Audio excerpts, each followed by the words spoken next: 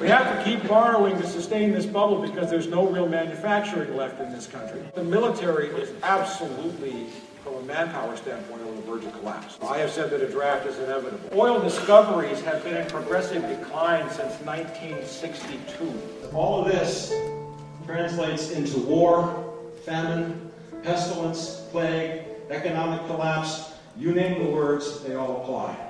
Insanity is repeating the same actions over and over again, expecting different results. You spend dollars to get energy to work for you. If there is no energy, money ultimately becomes valueless. It says very clearly it takes 30 years to change the energy infrastructure. The truth is our ammunition. The truth and the people will prevail. Denial stops here.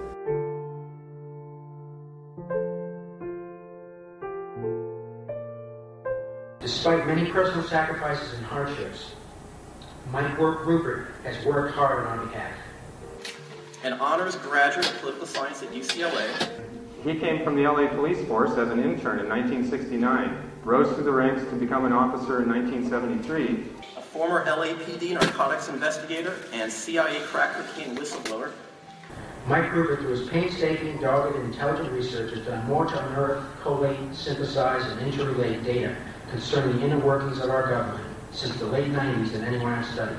The founder, publisher, and editor of FromTheWilderness.com. Our, our questioners, I'm going to introduce them briefly, and then we will entertain one question from each questioner. We're Mike Ruppert, who is from The Wilderness. Mike. Let's have a big welcome for Michael Ruppert. Ladies and gentlemen, Mike Ruppert. Ladies and gentlemen, Mike Ruppert.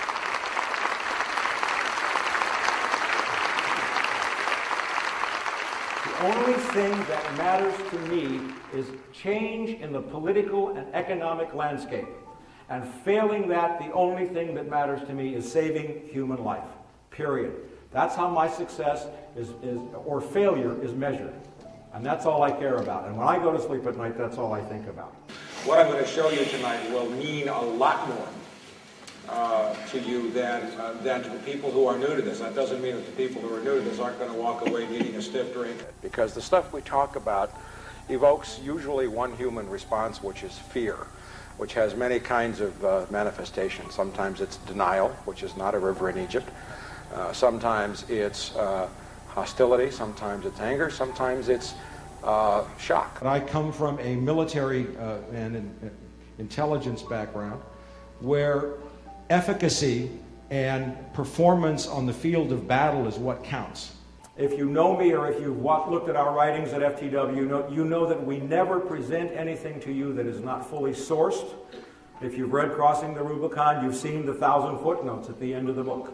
I don't ask you to take anything at face value. I say, here's what I say, and here's the proof for what I say.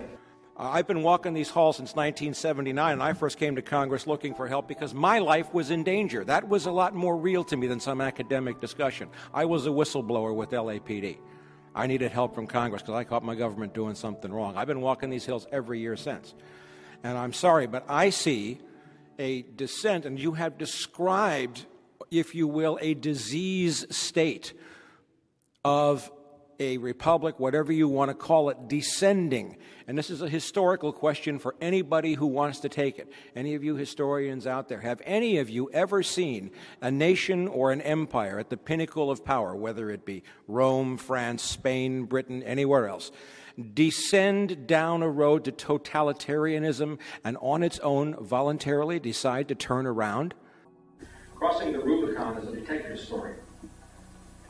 It gets to the innermost core of the 9 11 attacks. It places 9 11 at the center of a desperate new America, created by specific named individuals in preparation for peak oil, an economic crisis like nothing the world has ever seen. Rubicon is not only a, a book about 9 11, it's a book about peak oil. It's a map which, if you read it and study it, will help you study the landscape that you're walking on now. Being a practical guy, I mean, I'm an ex policeman. I used to work on the street. I've been shot. You know, I've been in life and death situations. So for me, things, some things are cut and dried. If something doesn't work, you try something else. That makes sense? Over our history now, which is seven and a half plus years, we've batted about 800 in terms of our predictions and our analysis. Now, Ted Williams only had to bat 400, as Catherine Austin Fitts says, and he was the best guy that ever stepped up to the plate. We batted about 800. For me, the issue is no longer about saving the world. The world doesn't want to be saved. Get it? I'm here to save you. I got 27, 28 years of trying to change the government. It didn't work. But we did make a lot of friends and we did teach some people about how the government works. I want to empower you to understand the things that you have to do to protect yourself because nobody's going to do it for you. And we draw you a map. And the purpose of drawing you a map is so that you don't have to come to Mike Ruppert to tell you what's going on. It's to give you the map and teach you how to read it so that when stuff comes your way, you can find your own way out of the wilderness. But this is no longer about saving the world. This is no longer about having a, a lefty progressive feel good party and rally and where we can clap and cheer and throw some money at something and go home and think we've done something. I don't know about you, but I spent 27 years of my life trying to change the world, and I've been an abject failure. How well have you done?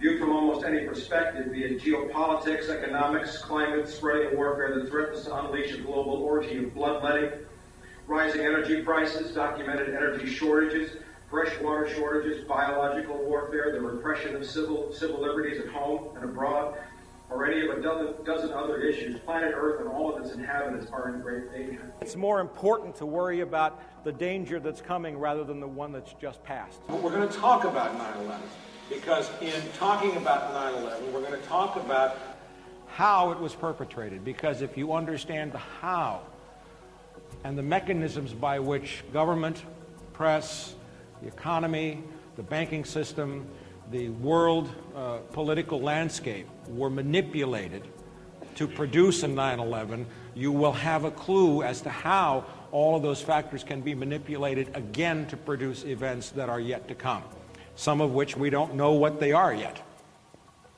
But it's important to understand how clear cut the case is. There is a herd of angry elephants that happens to be charging at us right now in the form of peak oil in the form of economic collapse, in the form of climate collapse, in the form of fascist totalitarianism, totalitarianism, pending world conflict, and a whole bunch of other things which we're going to talk about. So what I'm here to do tonight is to help you breathe better in the face of what's coming. Then you can help somebody else, and it will probably be your neighbor, people close to you. I'm not trying to save my country anymore. My country doesn't exist anymore.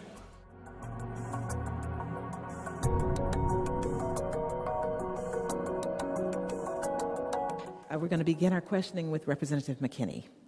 Thank you. And I really, well, I have a ton of questions, but um, I think it's more important that I just make a statement, and that is how compelling and thoroughly researched your testimony has been today.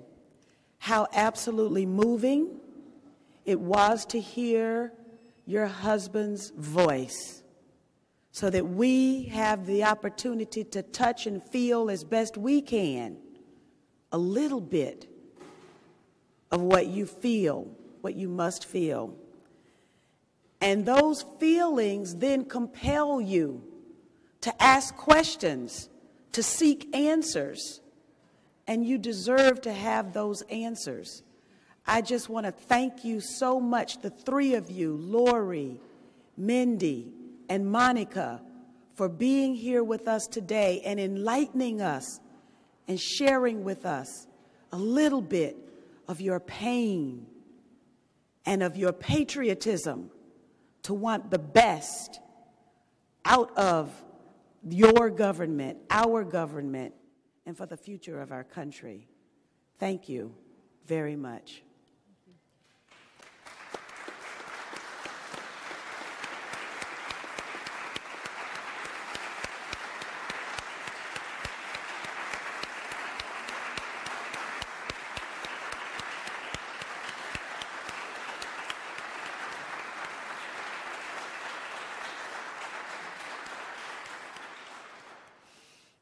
We'll begin our questioning now. Mike Ruppert. This is difficult for many of us and somewhat cathartic even all this time after the attacks. And I think I speak for many people in this room to express my gratitude uh, to you because it's apparent that you have not stopped digging even after the release of the Kean Commission report, and uh, your positions seem to have changed a great deal since then. In order to establish a murder conviction or homicide conviction, you have to establish means, motive, and opportunity. Three elements of the crime. This is a court case that I would take to trial anywhere. And in order to get a conviction for murder, you have to show means, motive, and opportunity. The deepest secrets of September the 11th lie in the Vice President, the Vice President's National Energy Policy Development Group. It was a task force uh, instituted by the Bush administration in January of 2001, right after they took office. It met in secret until May of 2001. You may have heard little stories about they won't release their records. It went to the Supreme Court. They won't tell anybody what they were talking about. That tax task force which was paid for by your money, which Dick Cheney and the Bush administration have refused to release. Uh, when the first decision came up before the Supreme Court, Dick Cheney took Justice Antonin Scalia duck hunting in Louisiana at taxpayer expense on a Secret Service airplane. Conflict of slight interest. And finally, again, that was just confirmed about this is just from like a week ago. This is uh, May 11th, okay, less than about three weeks ago. Cheney wins the final court ruling. We will never know what they discussed, although in crossing the Rubicon, we did discuss seven pages of records. They were discussing who had the oil, where the oil fields were, who owned what, whom we had to bribe, who we had to kill, whatever we had to do to get the oil.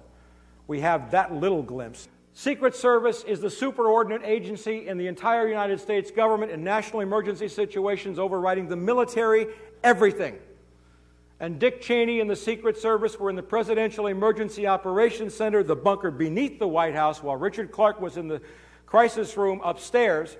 And they had completely separate and redundant command and control systems to override every other radar, radio, and everything else that was operating so that the attacks could take place. The 9 11 attacks were the result of deliberate planning and orchestrated efforts by identifiable leaders within the United States government and the energy and financial sectors of this economy to see a Pearl Harbor like attack which would provide the American empire with a pretext for war, invasion, and the sequential confiscation of oil and natural gas reserves or the key transportation routes through which they passed. 9 11 was a premeditated murder. The next great struggle, conflict, that the U.S. had to get involved in was to seize and control the Eurasian continent, in part mostly because of its oil wealth, and that includes the Middle East. The larger circle on the outside, the one that looks like a dashed line, is where he said the next war was going to break out. Is that a little suspicious to you? Possibly. But what I show you with the means, motive, and opportunity on 9 11, here's the motive for the crime peak oil. Oil and natural gas are indispensable to our way of life. The world is beginning to run out of hydrocarbon energy, period. We're going to talk about that later on. But that motive, which I will expand upon and tell you about, is the motive for the reason why the United States government orchestrated and conducted the attacks of September the 11th. Where is all the oil in the world, and who do we have to deal with, bribe, kill, or make friends, or blackmail to get it? Now, as you put the maps that came out of NEPDG together, this is a map I constructed from their maps because I had to do a cut and paste overlay, but this is the oil fields they were looking at. Now, I want you to understand something. That right there, ladies and gentlemen, is 60% of all the recoverable oil on planet Earth. 60%. If you overlay that to the state of Texas, you see roughly the size of the area. U.S. oil production peaked in 1970, has been in steady decline.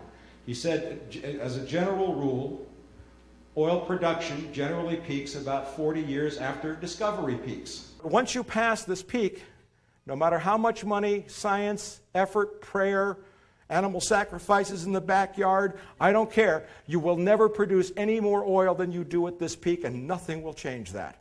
And there is an abundance of scientific evidence to show that this is the case. In about 100 years, mankind has used roughly half of all the oil that nature placed on this planet.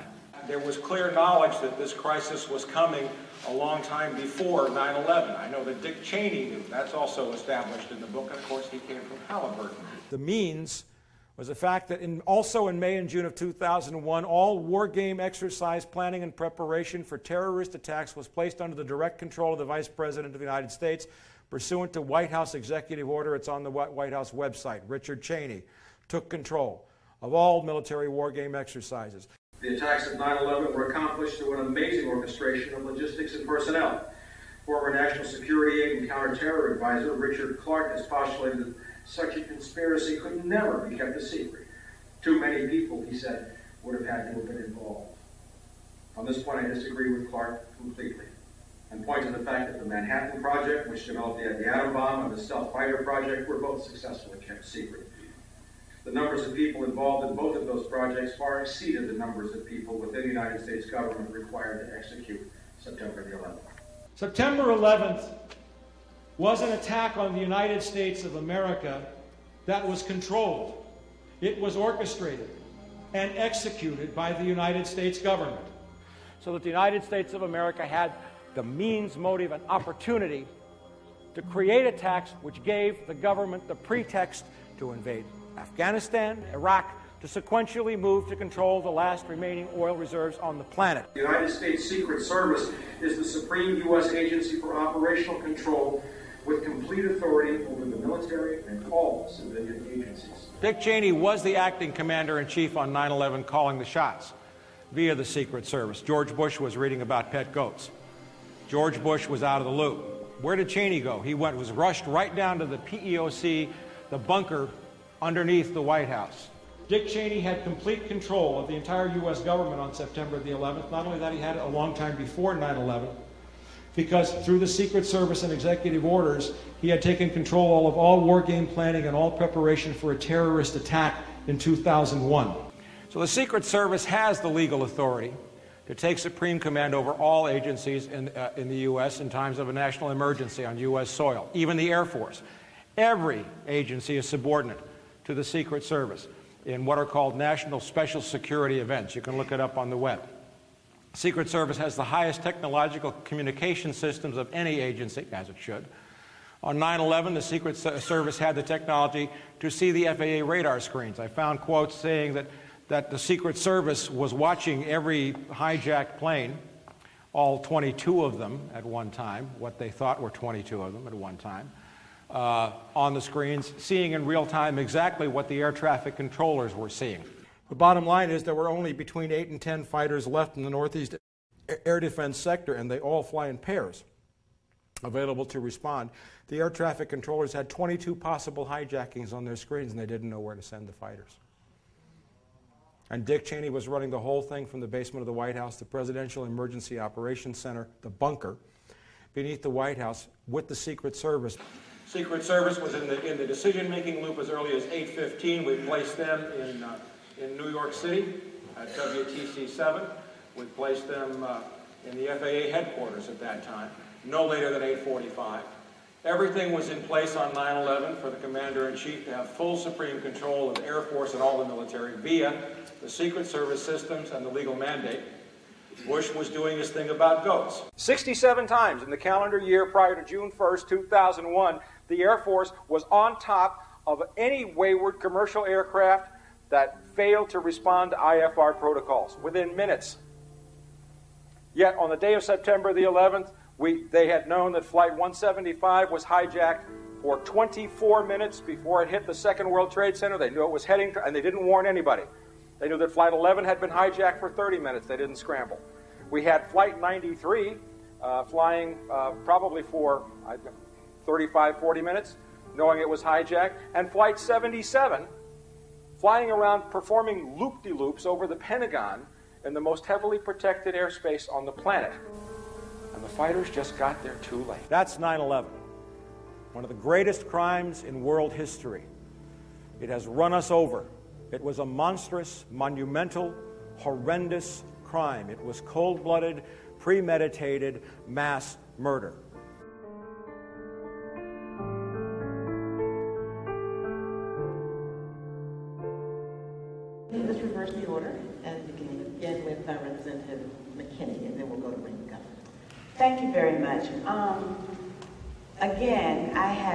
A uh, comment, and that is, seems that I seem to have to say the same thing over and over and over again.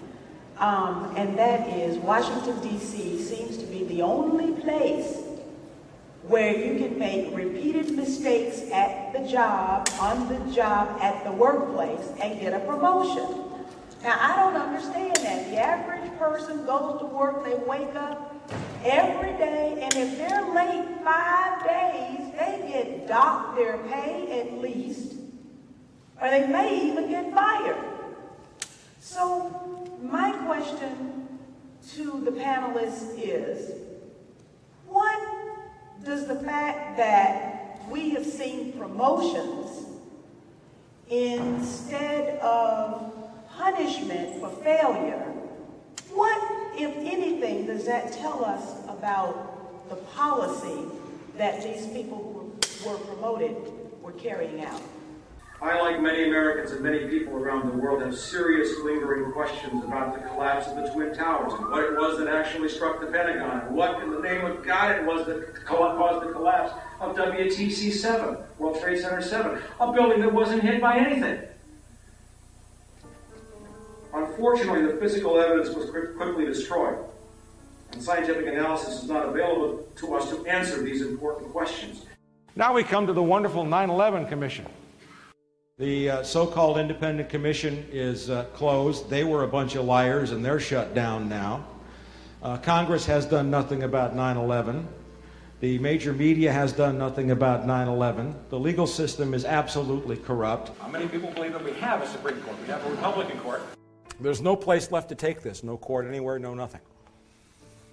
The 9 11 Commission, which was full of more conflicts of interest and liars and criminals and crooks than I could possibly imagine, actually fabricated evidence. I got copies of all the original timelines submitted by everybody right after the attacks. In order to make the strongest legal case possible, I have avoided discussions of physical evidence, open to acrimonious debate and scientific challenge, and chosen to do what any good police officer or detective must always do keep your eye on the suspect. It does not take a scientist to prove that George Bush, Dick Cheney, Donald Rumsfeld, Condi Rice, General Ralph Eberhart, General Richard Myers, FBI Director Robert Mueller, John Ashcroft, and George Tenet lied to the American people. It occurred to me and it became very clear that everybody in the system knew that Flight 175, the second plane hit the World Trade Center, had been hijacked, and nobody warned the people in the South Tower. And then I found one press account that Don Arias uh, had actually left his post that day to call his brother in the World Trade Center and told him to get out because nobody else was warning anybody. And that was Major Arias' motive for sending me the confirmation. Our next questioner, um, go right to uh, Mike Ruppert. Professor Goodman, you and I will uh, forever and strenuously disagree about a couple of things, one of which is your statement that these were blunders and they were personal and not institutional. I, I will go to my grave, and I believe my book documents an irrefutable case that uh, the mistakes, quote unquote, made were deliberate, intentional, and they were both personal and systemic. Um, that You made a brief reference to Pearl Harbor, and there's a book by, and I've butchered a couple of first names. I got the last names right today, but uh, Stinnett, I believe his first name is Richard Day of Deceit, uh, with uh, a FOIA release of documents showing that we had broken the Japanese codes prior to Pearl Harbor, knew the attacks were going to take place, and allowed them to happen.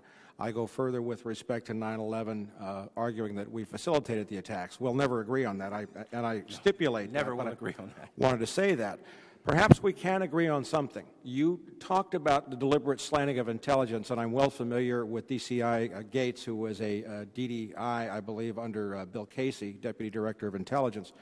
But from Richard Helms all the way through George Tenet, there have been allegations and records indicating that intelligence has been slanted for political purposes. I think we can agree on that.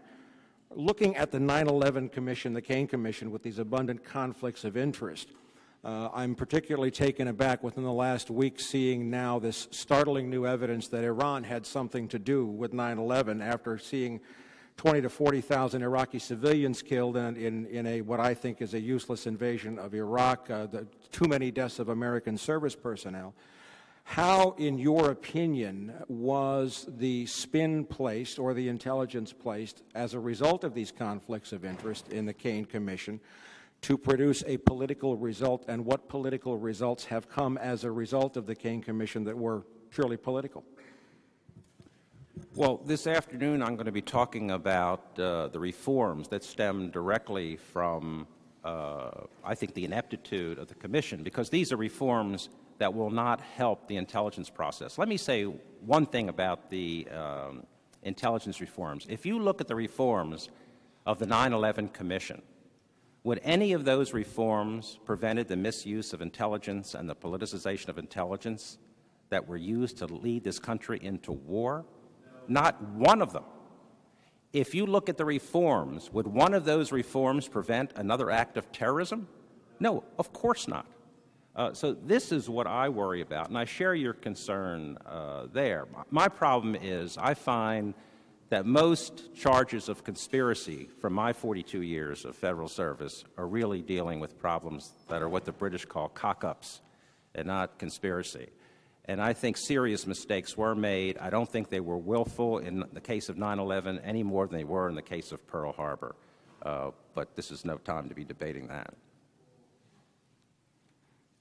I don't deal in conspiracy theory, I deal in conspiracy fact. Um,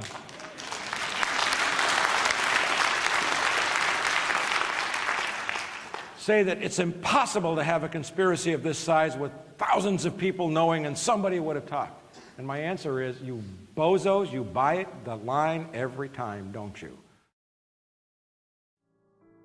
In May of 2001, Dick Cheney was placed directly in charge of managing the seamless integration of all training exercises throughout the federal government and military agencies by a presidential directive from the White House. What happened on September the 11th was we had a series of war games, all being conducted simultaneously. Now, if you think back, if you think back about what you may have seen on CNN or NBC or controversy about 9 11 as the hearings went by, you know, you, you've heard that there were tons of warnings available to the government. As a matter of fact, I document about 25 of them, very specific. Five separate war game exercises on September the 11th, which took available National Guard and Air Force fighter aircraft out of the Northeast Air Defense Sector where all the attacks occurred moved them to northern Canada and to Alaska. The, what we've just found also moved them to Iceland and Greenland. So there were not enough fighters, eight only available, as far as we can tell, in the entire from Washington D.C. up to New York City to respond to four hijacked airliners. They fly in pairs.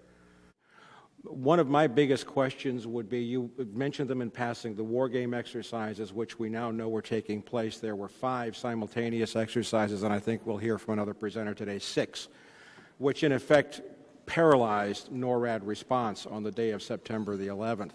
Uh, and you'd also gone to read the footnotes, and I want to comment that uh, I saw uh, uh, uh, Congressman Hamilton, who was the vice chair of the commission on C SPAN, recently denigrating people who bothered to read the footnotes and point out the inconsistencies, but I thank you for doing that. There is one particular footnote that I will refer to very quickly in, uh, in the Kean Commission report, which referred to uh, the war game exercise Vigilant Guardian, and I, I think it's footnote 161, it's in my book, uh, as an over the pole Russian exercise uh, to practice for uh, Russian bombers, when in fact, uh, the NORAD website indicates that the Russian over the pole exercise in progress that day was Northern Vigilance, not Vigilant Guardian, which we now know, thanks to USA Today uh, and many other uh, sources, and on the record sources submitted to the Commission, was a hijack drill. And we also have statements from Richard Clarke in his book that there was another exercise in progress that day called Vigilant Warrior. And I have ob- obtained an on the record statement from a NORAD officer indicating that that was a live fly exercise. Have you looked into the, uh, the issue of the war game exercises and how important a question do, do you feel that is to answer? Because I also, and I'll shut up with this, you have gone past the point of you have deliberately stopped using the word mistakes that there were a bunch of mistakes that occurred on 9 11, that it was all somehow a bunch of sequential accidents, and you made a deliberate statement about the FBI. You, are you beginning to feel that there was some deliberate action uh, that might have affected NORAD's response that day? The only mention of any war game was in a footnote the 9 11 report. Footnote 116 on 9 11, NORAD was scheduled, and they lied. They say Vigilant Guardian. Vigilant Guardian was the hijack exercise. It was Northern Vigilance, which was the Soviet drill. So they're trying to confuse you again by lying. I have the original records showing what the drills were. So they lied even in a footnote to the report. Does anybody doubt that Condoleezza Rice was lying when she said we had no idea that anybody would use a plane to crash into uh, We've confirmed a number of lies. We've confirmed numerous lies and inconsistencies in the Kean Commission report. But when the final 9 11 time report came out, if you look at the right hand column, all of these times had not been submitted by any agency. That's like the prosecution and the defense submitting exhibits in a court trial, the judge going into chambers and coming out with a whole new set of evidence that neither side had, in, had ever introduced. This was the original submissions to the 9 11 Commission from all the evidence, from all the witnesses who had testified for them about the timing of specific events on September the 11th. What you do need are certain key people in key locations who do know at least most of or, a significant part of, and secret compartmentalized intelligence, SCI, that, that's an official term, uh, operation. And we, I found several, but this is my favorite of all the ones in 9-11. Dave Frasca, who was head of the Radical Fundamentalist Unit, he stepped on five separate investigations, each one of which could have prevented the attacks. There were two, there was an investigation of two of bin Laden's relatives in early 2001. The White House issued an order which he then put out to the field saying, stop investigating uh, these two brothers of Osama bin Laden, who were living in Falls Church, Virginia, right next to CIA headquarters. NORAD press relations officer, Major Don Arias, that according to the terminology, the U.S. government was flying a live fly hijack exercise drill on the morning of September the 11th, which involved planes, airliners, posing as hijacked aircraft under the direct control of NORAD, the, the Defense Department, and Richard Cheney. You didn't hear any about hear anything about that, did you? Um, it's a very telling and it's a very heartrending chapter to read the callousness with which Rudy Giuliani, Dick Cheney, General Ralph Eberhart, General Richard Myers, all of the National, Man, National Command, uh, National Military Command Center staff, and everybody in the PEOC sat there and let the people in the South Tower die because they knew the second plane was coming, and I proved that they know that they knew it was coming and they, they just let it die. Now, whoever was coordinating the Air Force war games was under the management direction of Dick Cheney, who was also in charge of another terror drill being set up on the west side of New York. It was a bioterror drill called Tripod 2 being set up on Pier 29 on Manhattan's Lower West Side. And FEMA was already there. And if you read the paper trail that was putting Dick Cheney in charge of all the war game planning back in May, he was coordinating all training, not just in the military, because the FBI, Department of Justice, Health and Human Services, Centers for Disease Control, et cetera, et cetera, et cetera, are not military. So all of that was placed under the aegis or under the umbrella of FEMA, Federal Emergency Management Administration. And FEMA was setting up a complete command post on the morning of September the 11th, just by coincidence, another war game. This is a case that I, as a detective, would take to a district attorney tomorrow. I would take crossing the Rubicon, drop it in the lap of a DA, and I say, I want a filing for murder, premeditated, first degree, multiple counts with special circumstances.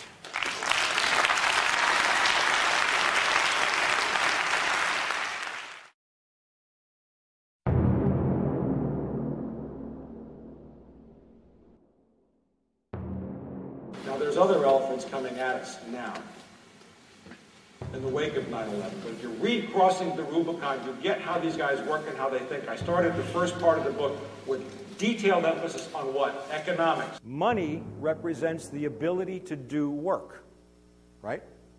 Energy is the ability to do work. If I want to take a dollar bill, I can go buy gasoline. That's energy. I can hire someone to clean my house. That's the expenditure of human energy. I can hire someone to cook. I can buy an appliance which was made with energy and uses energy.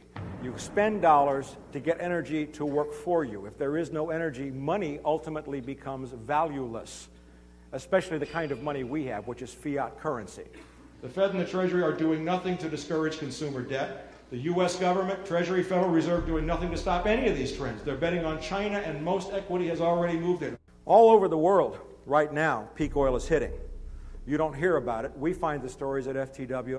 The attacks of September the 11th were the pretext for the American and to a lesser extent the British and the Israeli empires to begin seizing by force those energy supplies needed to sustain their power, hegemony, whether regional or global, and their teetering economies. 2003 and 2004, they didn't, there was not a single discovery of a 500 million barrel field.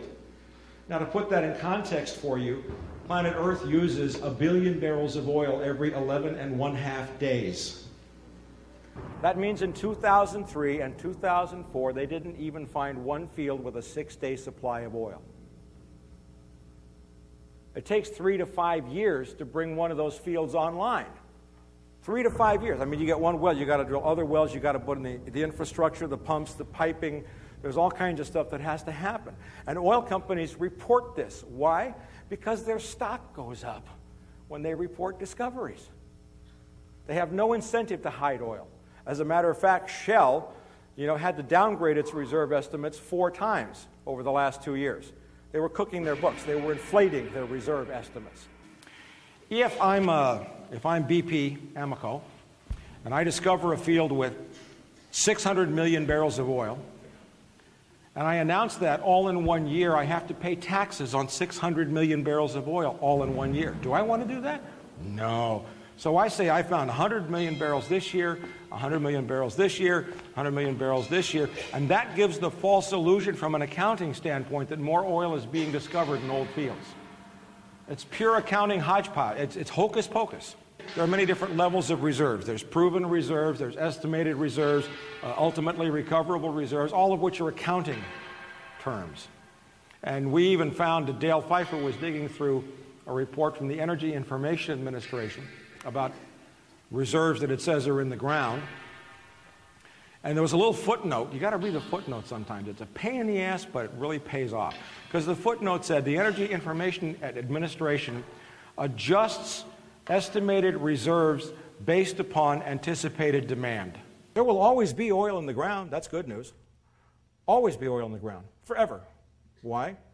Because an oil field is deemed dry when it takes more oil to get a barrel of oil out of the ground than you get from burning it. The ExxonMobil Corporation, one of the world's largest publicly owned petroleum companies, uh, has quietly joined the ranks of those who are predicting an impending plateau mm, in non OPEC oil production. Their report, The Outlook for Energy, a, a, a 2030 view, forecasts a peak in just five years. Now, of course, they lie. That's from Alfred J. Cavallo from the Bulletin of Atomic Scientists. Caught that.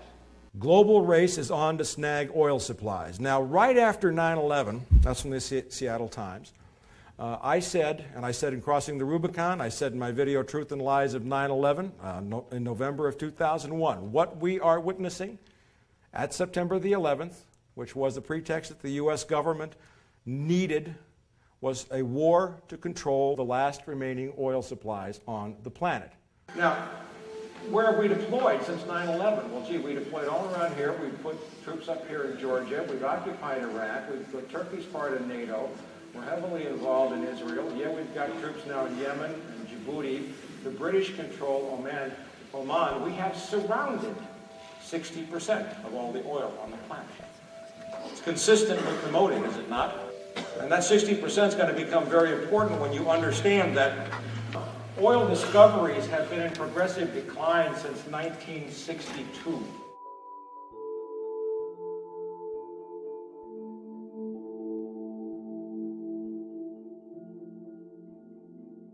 In order to pump oil, you have to find it first. Does that make sense? Okay, global oil discoveries peaked in 1962.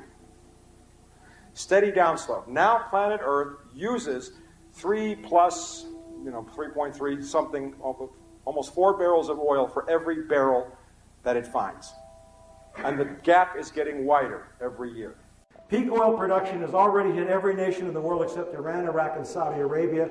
But Saudi Arabia, we know now, and I should redo this, I think Saudi Arabia has peaked, and there's very compelling evidence that it has. We will talk about that. The single largest oil field in the world is Ghawar, G H A W A R, in Saudi Arabia. which, when discovered, was estimated to hold about 90 billion barrels. Major stories everywhere that Ghawar has peaked. As a matter of fact, three major papers have published stories showing that Ghawar has peaked. Ghawar has peaked, Saudi Arabia has peaked. Saudi Arabia contains 25% of the known oil reserves on the planet. 25%. If Saudi Arabia has peaked, planet Earth has peaked. Axiomatic. It's simple mathematics. Chevron Texaco, the CEO just wrote a check because their profits are up and, and, and they've been holding their profits for 16.4 billion to buy Unocal. That's because the Chinese offered 13 billion in cash to buy the company last December. But that's because Chevron knows there's no place else to get oil. So what so how are oil companies adding to reserves? They're just buying other companies' reserves. They aren't discovering anymore. Let's go back to May 2001, critical month, when the NEP, NEPDP report was released. America in the year 2001 faces the most serious energy shortage since the oil embargoes of the 1970s. Estimates indicate that over the next 20 years, U.S. oil consumption will increase by 33 percent, natural gas by well over 50 percent, and demand for electricity by 45 percent. U.S. energy consumption is expected to increase by 30, about 32 percent by 2020. Between 2000 and 2020, U.S. natural gas demand is projected by the Energy Information Administration to increase by more than 50 percent. Yet we produce 39% less oil today than we did in 1970. 1970 was the year that the United States oil production peaked. We have been in irreversible decline since 1970 within the United States. As you pass peak, every barrel of oil that you pump becomes more expensive and harder to get out of the ground, and it's inferior quality. Planet Earth is plus or minus one year at the all-time peak of hydrocarbon energy production. Simply put, we have used half of all the oil God placed on this planet, and every drop, every barrel extracted from the ground from now on will become progressively more expensive, of lesser quality, and much harder to obtain. On our present course, America 20 years from now will import nearly two of every three barrels of oil, a condition of increased dependency on foreign powers that do not always have America's best interests at heart, as if somehow it was an obligation for every other country in the world to have our best interests at heart. I'm not so sure I agree with that. How many people here believe that economic growth is possible unto infinity? Good, no hands there. All right. Well, we know that economic growth is connected to energy usage. How many people believe that energy is infinite? Energy converts in one direction only from usable to unusable. It's the law of entropy. It never converts backwards. There is no free lunch. There is no perpetual motion. And I predicted the New England blackout by watching uh, uh, gas stocks and knowing that, that, that, no infrastructure was being built to generate more electricity in New England. Six weeks before it happened, I called it. Remember the big blackouts we had in Italy and France? Right? Huge blackouts because the infrastructure isn't being rebuilt, energy shortages. Well, this one just hit Moscow a week ago. This is BBC News. Maybe it was less than a week ago, I think. I have the date. But it shut down the whole city of Moscow, their stock exchange. Did you hear about that, by the way? No. Shut down. And the problem was no infrastructure was being built. Who's going to get hurt more by peak oil? The places where the lights are brightest. Would you rather fall from the penthouse to the sidewalk or from the sidewalk to the gutter? World is getting ready for global war.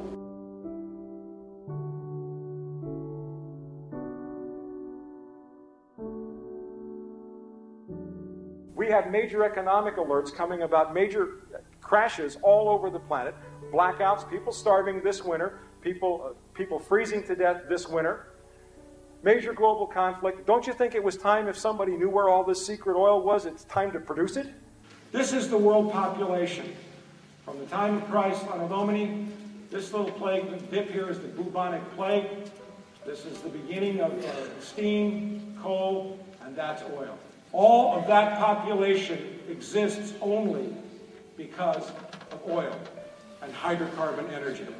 There are no replacements that will replace at the same level of consumption. Uh, China is experiencing blackouts and threatening to shut down businesses that consume too much energy. South Africa is predicting permanent blackouts by 2010. Again, I have the sources for all of this. Australia and New Zealand are currently experiencing energy shortages and blackouts, very serious in New Zealand and some parts of Australia. Thailand is experiencing blackouts. The UK is experiencing severe energy shortages. The EU has decided to lift its ban on arms sales to China. There was some debate, but it looks like that they're going to start selling to China. Texaco's CEO has announced that world oil supply cannot meet demand. Russia has shifted to a basket of currencies emphasizing the euro. Venezuela is buying MiG 29s and Russian missile, missiles, forming a defense pact with Brazil, and preparing for a proxy war with Colombia. We'll talk about that. Syria and Iran are receiving Russia and Chinese military assistance. The housing bubble is starting to collapse as legislation to seize and shut down Fannie Mae and Freddie Mac is introduced in the Senate. We could have a nuclear war tomorrow if we invade Iran, or Venezuela and Colombia could go, or uh, you know, Iraq could go, Saudi Arabia could go. Malaysia and Indonesia have actually been close to fighting over oil uh, recently. So any one of these things could trigger nuclear conflict. It's not just about how we survive running out of oil, it's, it's how we keep the lunatics from blowing up the whole planet before we try to address that question. We got that recurring problem about the fact that the planet's falling apart. You know? And boy, you want to see something get pissed off. This planet, Mother Earth, could just shrug her shoulders and we'd be gone in a heartbeat.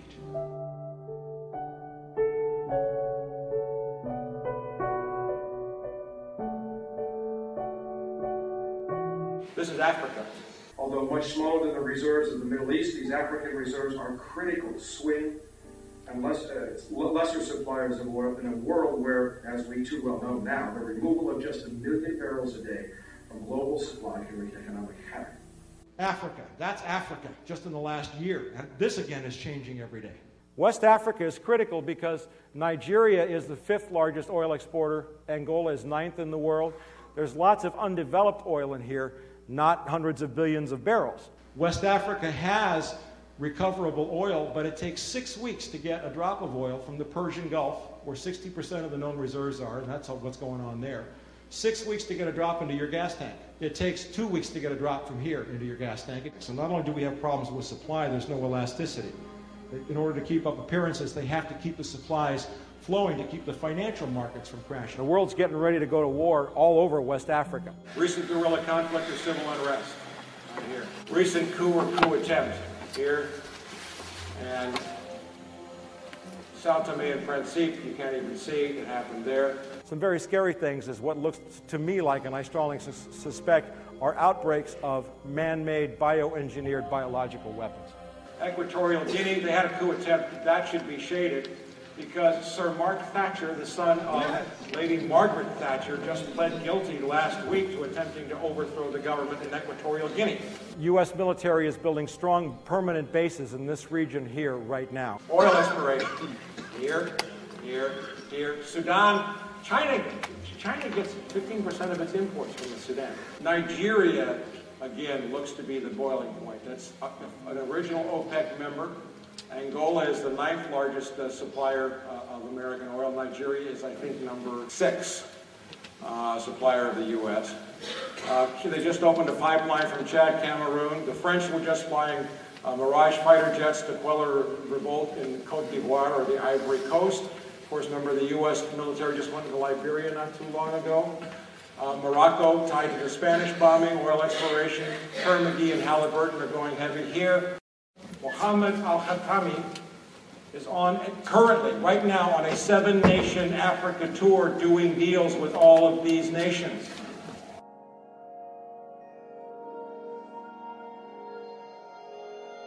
Who's the other OPEC nation that has already told America to go stick it up its you-know-what? Venezuela. There is something incredibly powerful about Hugo Chavez. I, I, clipped a headline that I used in about 10 of my lectures in four countries. It was, a, it was an Associated Press story. The headline was Chavez calls Bush asshole. And it was just so amazing. Right after Chavez called Bush an asshole, and that was the headline, he said, if the United States tries this one more time, I'm going to shut off all the oil to the U.S. Two weeks later, a top level delegation from China was in Caracas. Venezuela. And just 10 days ago, the Chinese announced a deal that they're going to buy 40% of Venezuela's oil. Do you hear the drums of war beating anywhere around here? Because Venezuela owns the Citgo gas stations, right? Fourth largest supplier to the U.S. It only takes two days to get oil from Venezuela into your gas tank. Now, you know that the U.S., is, uh, especially the Bush administration, is not particularly fond of President Hugo Chavez of Venezuela. Yes. We sponsored a couple of coups, and he beat them both, you know. Chavez is, in his sleep, is 100 times smarter than George Bush. And he is becoming a true charismatic Bolivarian leader who is uniting almost all of Latin America behind him right now. He and President Lula of Brazil are forming very strong economic alliances, and together they're offering deals to Argentina and Chile and Bolivia and Peru, and they're all starting to come together, realizing that they really can stand separate from the U.S. And South America has been really a Rockefeller proprietary corporation for most of its uh, existence. Venezuela is jittery with fear of counter revolution. Now, what's amazing is the people of Venezuela, and not like the United States, where there's no major rush to enlist in the U.S. Army, in case you hadn't noticed, the people of Venezuela are flocking to join militias to defend Venezuela in the event of a U.S. attack or coup. South America is uniting rapidly. Energy alliances are forming. Chavez is doing great things with Brazil, Brazil with Chile. I mean, they're all really getting their shit together.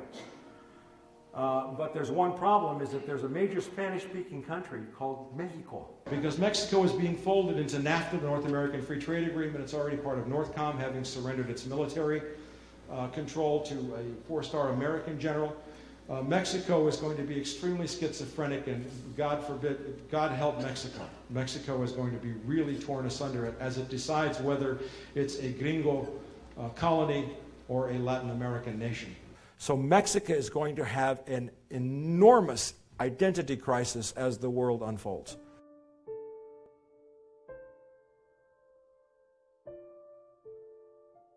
Britain is dependent upon Russia for its energy.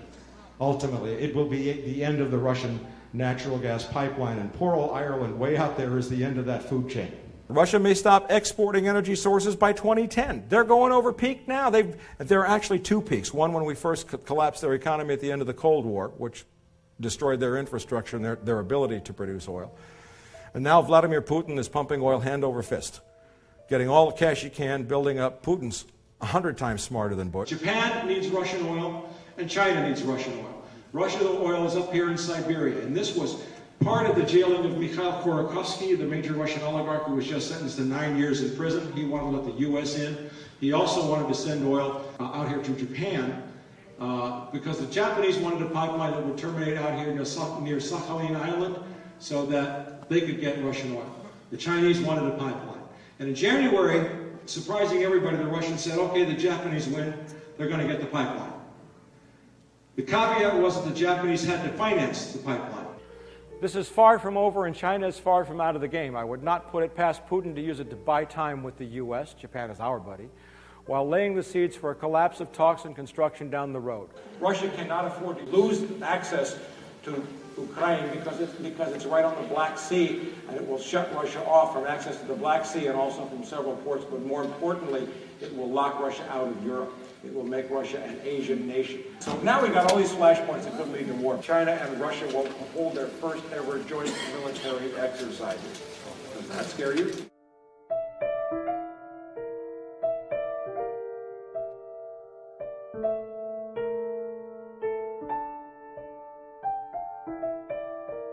A whole new alliance is forming against the United States. One of, its, uh, one of the names that has been given is called the BRIC Alliance Brazil, Russia, India, and China. China, Russia, Iran, Venezuela, India, Brazil, Malaysia, South Africa, Europe, parts of West Africa are forging economic alliances which exclude the U.S. The whole world is turning on us. China is already consuming or hoarding 60% of the world's commodities oil, cement, aluminum, copper, zinc, manganese, steel, coal, gold, silver, etc. Chinese state-owned oil firm Sinopec confirms interest in Alberta oil sands, and Chinese want to buy Canadian oil. China and Canada have just signed an oil energy pact. China and Canada. Yeah, you know, I always knew it was the damn Canadians' fault, didn't you? Why is China buying equity stakes in Alberta oil companies? Because they know there's no place else to get the oil. Okay, so the Chinese are now, they just did this $10 billion investment with Brazil and a $20 billion investment with Argentina. In 1998, China passed the Exclusive Economic Zone and Continental Shelf Act, which means that China claimed all mineral rights out to the Asian continental shelf.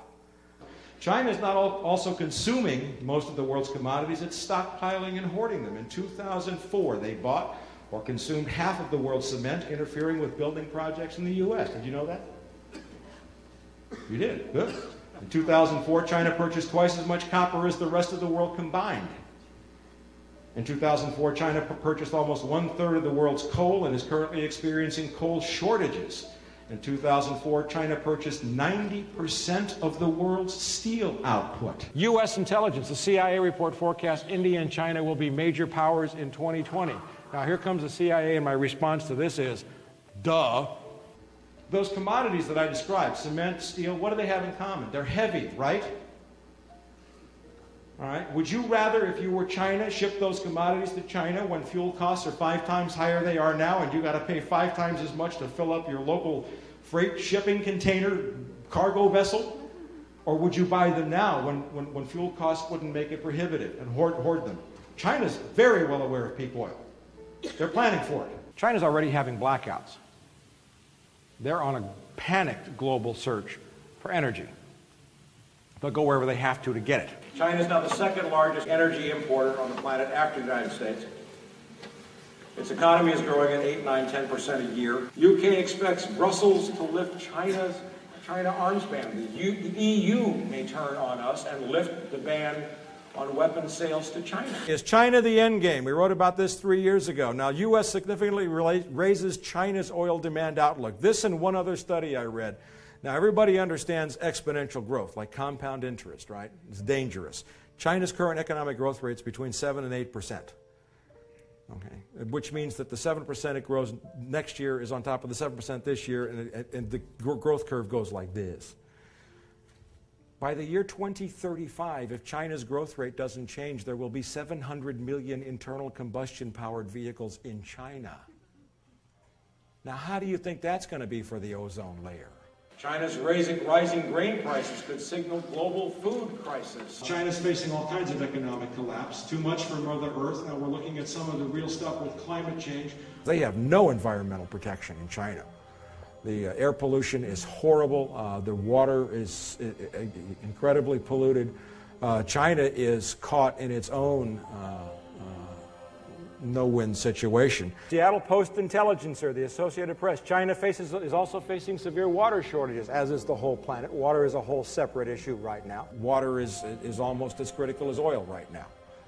Too much for Mother Earth, and this is talking about China's consumption of commodities and energies and goods and everything. It's actually overwhelming the planet. We wrote two years ago China was the end game. 2002 September, again almost three years ago, I said China was the end game, and guess what? It's the end game. But everything in this regency, region will fall under Chinese hegemony. This is a great story from the current issue of the Atlantic Monthly, How We Would Fight China, which lays out the battle plan of the end game. All of China's oil passes right through here, the Straits of Malacca, which at its narrowest point is only about, I think, 1.4, maybe 2 miles wide. 40% of all the world's piracy occurs right there. Okay? So China gets all its oil through there. Japan gets all its oil through there. Chinese economic growth is also like a house of cards. They've got fraudulent bank loans. They've overextended. They, you know, they got bad loans. They're running a bubble to grow the Chinese economy as fast as possible because they're hoarding the commodities. But they're also trapped in this economic paradigm. And China is not this huge powerhouse that you might all think it is. China's got horrible internal problems, both economically and politically and culturally and ecologically. The Sony and the GM factories and the, uh, Toyota factories, all operating in China, they're having blackouts because China doesn't have enough energy to generate electricity. And they're shutting down the plants sometimes two, three days a week because they got no energy. Now, do you talk about the interdependence of the world economy? Wall Street depends upon what goes on in China. Why? Because they buy our goods. China is the end game because it's, it's, it, this is a game of musical chairs. But now we weed out countries. If these are the major players, boom, well, there's a Thailand. I guess they don't need oil. And boom, oh, there's a, okay, there's a, we can live without New Zealand.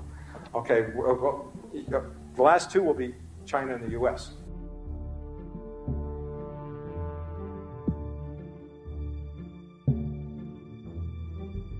spring, just after the U.S. occupation of Iraq, it was disclosed that the Israeli government had entered negotiations with U.S. representatives to explore the possibility of rebuilding a demolished pipeline from northern Iraq to the Israeli port of Haifa.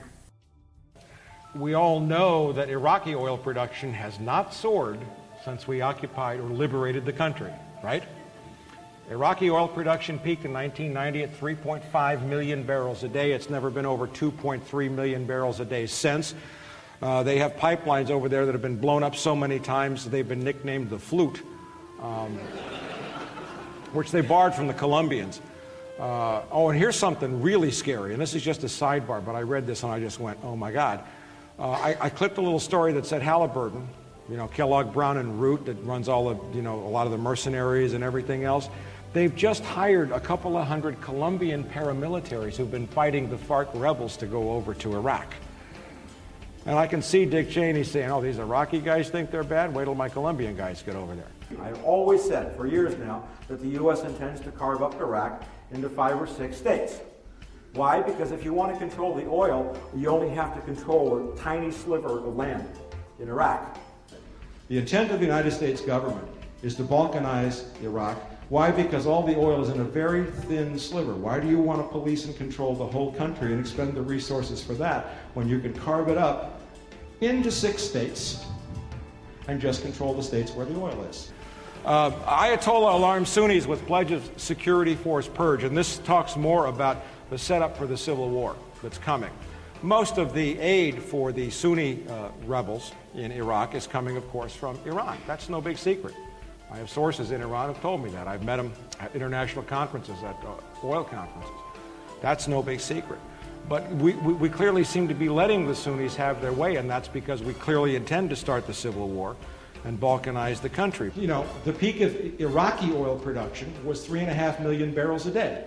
We barely topped 2 million barrels a day once since, and it's now about 1.8 million barrels a day. So, because the infrastructure is getting blown up, Iraq has become the absolute hell on earth, uh, what we have done to that country.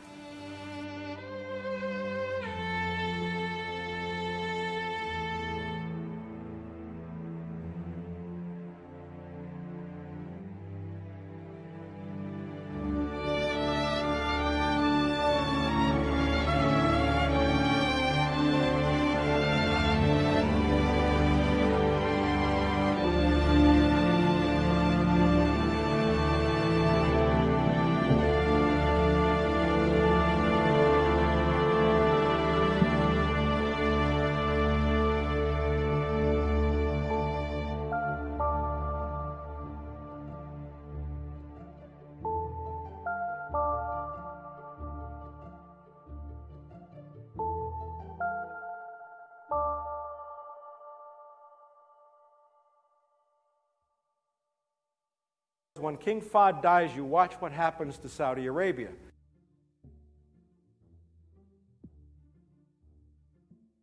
As much as I know that the U.S. intends to balkanize Iraq, we also intend to balkanize Saudi Arabia.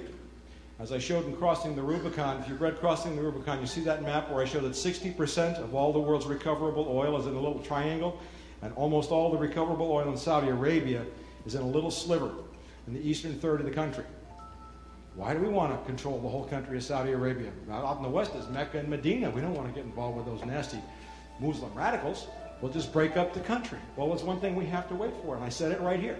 Saudi's King Fahd. Saudi Arabia, being the largest oil producer and the, the real powerhouse of OPEC, has several times over the course of the last year don't worry, America, we will come to save you. We'll print, we'll pump all this extra oil. We've actually upped our production by 50,000 barrels, 100,000 barrels, 500,000 barrels a day.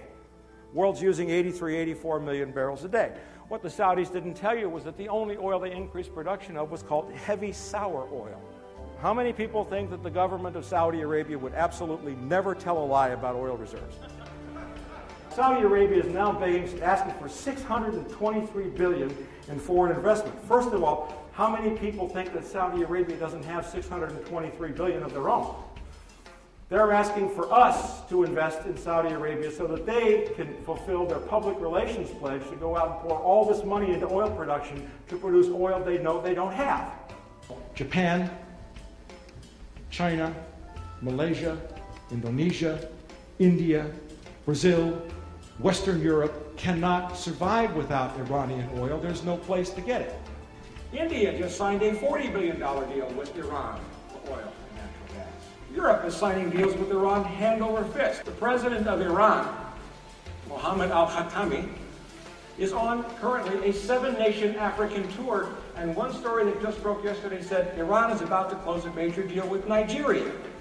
Now, what do Iran and Nigeria have in common? OPEC members. Now, how many people think the U.S. is going to invade Iran? Iran. No. How many people think the U.S. might, might change, uh, stage airstrikes with the Israeli government against Iranian nuclear facilities? That's possible. The U.S. will never, can't invade Iran. And if the U.S. does, um, uh, let me just tell you this in advance so you won't have to read my website. If you wake up one morning and you see that the United States has launched a military of invasion Iran, pack up your belongings, head for the woods, write your will, bend over, and kiss your ass goodbye. The world, by the way, has drawn a line around Iran. But what the world is saying is wait a minute, Japan gets a lot of its oil from Iran, China gets some of its oil from Iran. All these countries, and we, those countries, will not allow the United States to invade Iran because what's going to happen if we invade Iran? Like Iraq. The same thing that happened in Iraq. And er- Iran is 10 times the military foe. The Chinese just signed a $200 billion deal with Iran. 200 billion. 140 for oil, 60 billion for natural gas. Russia's pouring money into Iran. The world has drawn a line around a line in the sand around Iran. The world will not let the United States invade Iran. But the neocons, the insane maniacs that they are, may actually believe that they have to push that button. We're probably going to nuke each other or, or unleash uh, biological weapons. Can you picture Henry Kissinger sitting back and saying, Well, the problem is not that there is too little oil, the problem is just that there are too many people. So we're going to war all over the planet, and of course, we're preparing for that.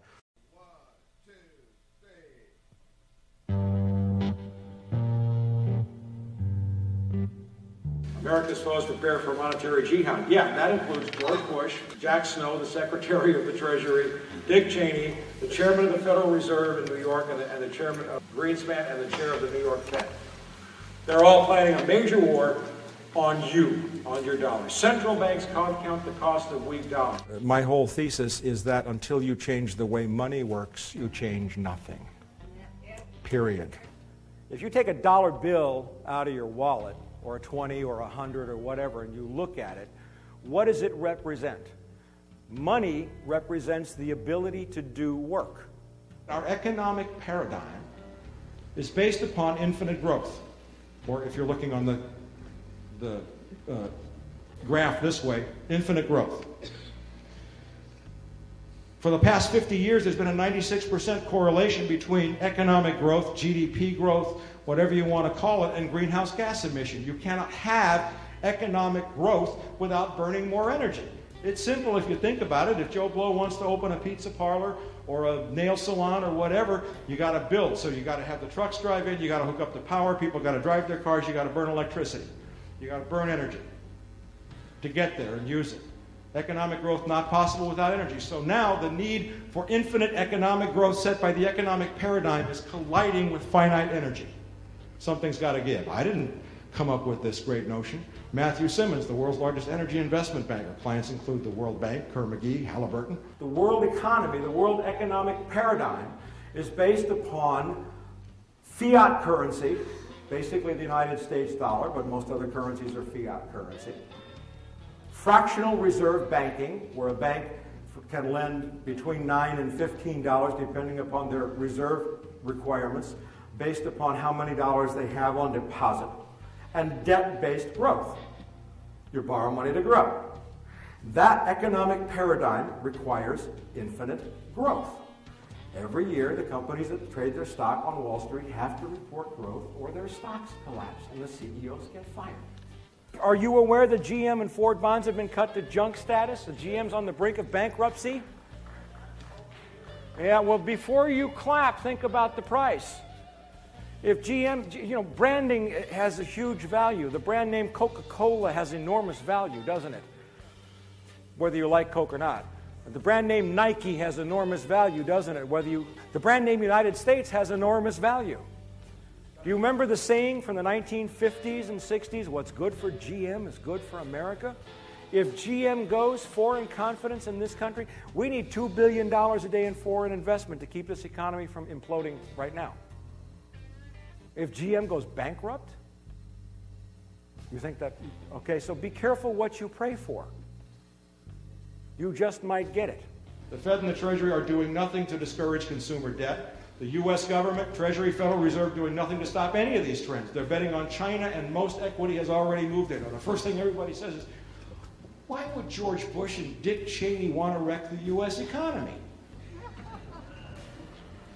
Let me ask a rhetorical question. How many people believe that the Great Depression really hurt the Rockefellers?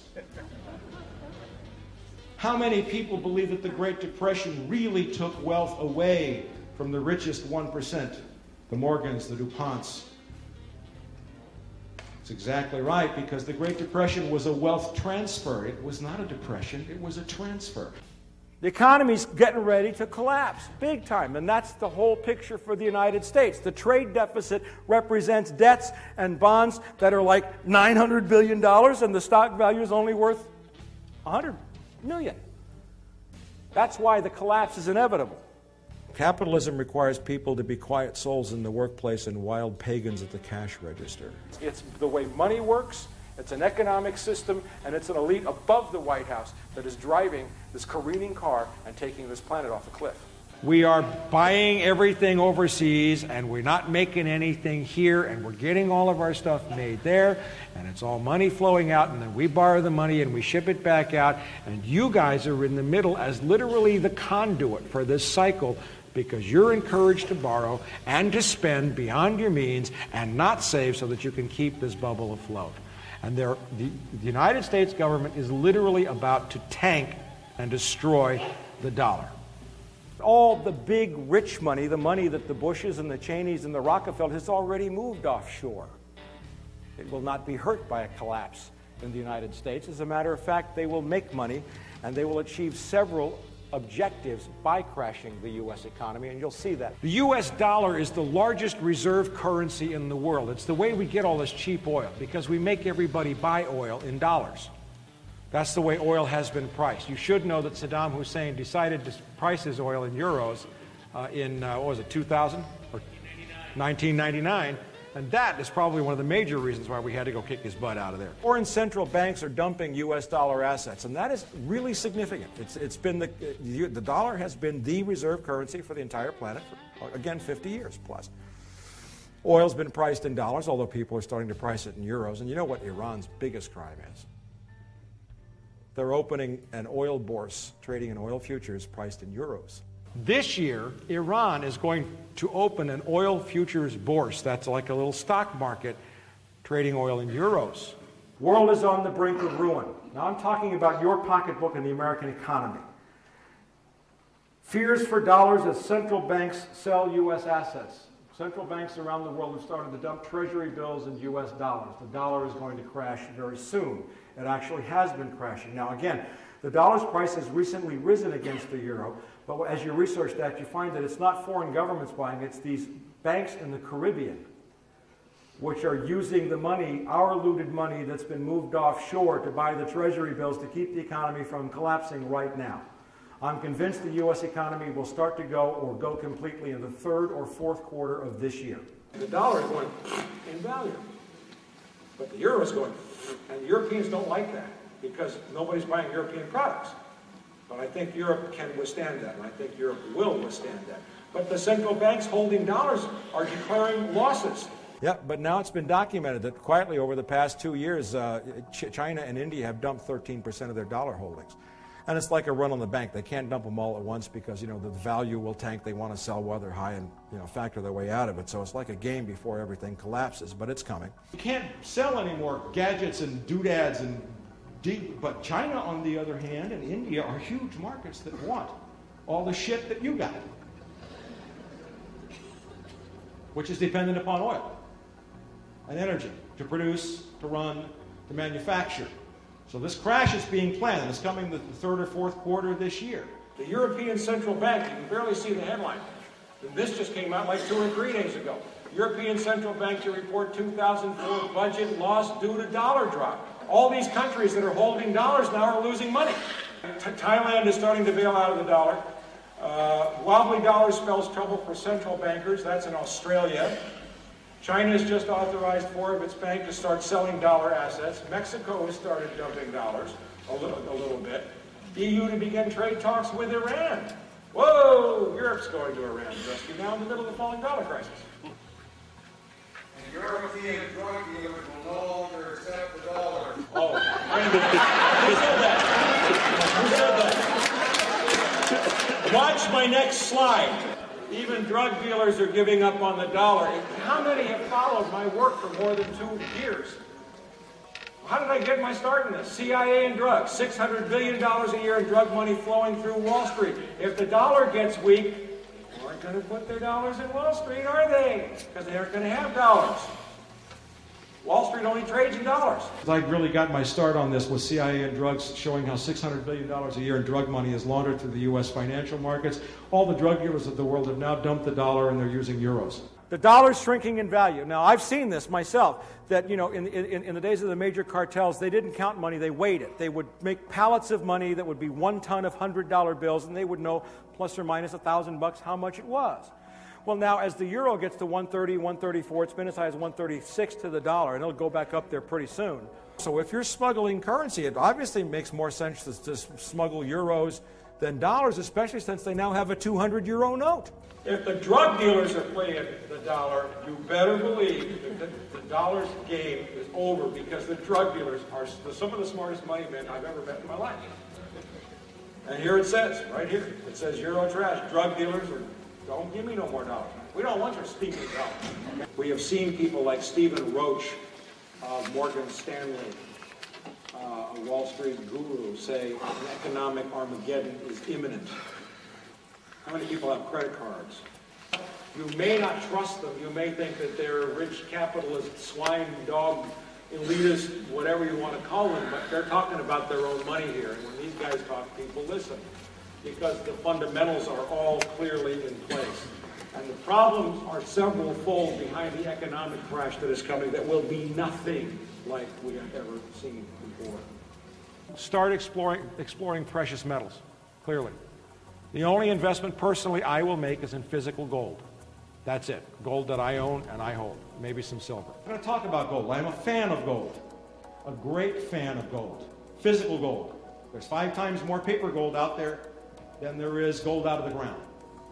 The price of gold, enormously well documented by a group called GATA, the Gold Antitrust Action Committee, has been maliciously suppressed by the central banks who flood the gold market to keep the gold price down. Because if you are an economist, economists traditionally believe that as long as the price of gold stays down, there's an economic hope. So you should still keep putting your money into the markets.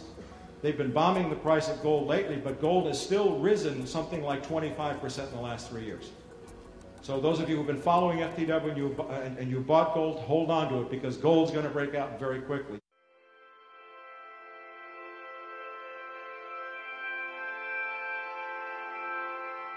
How many people really get that there is such a thing as a housing bubble in this country?